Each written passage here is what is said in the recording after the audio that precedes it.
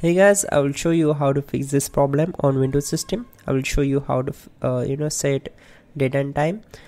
So this solution is applicable for windows 10 as well as windows 11 operating system. What you have to do you need to just follow my screen and we will fix this issue together.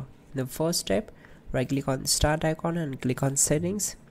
You can also directly go to search bar and type your uh, set date and time. So you can click on change the date and time. Once we're here uh, you can uh, you know we need to enable this option set time automatically. If you are connected with your internet connection then you know your uh, date and time will set automatically and quickly. And you can also uh, enable this option adjust your for daylight saving time automatically and in the time zone we need to select uh, you know as per our uh, you know um, zone uh, we have to set the Canada or you can uh, select uh, United States or India. Once done uh, enable this option set time zone automatically.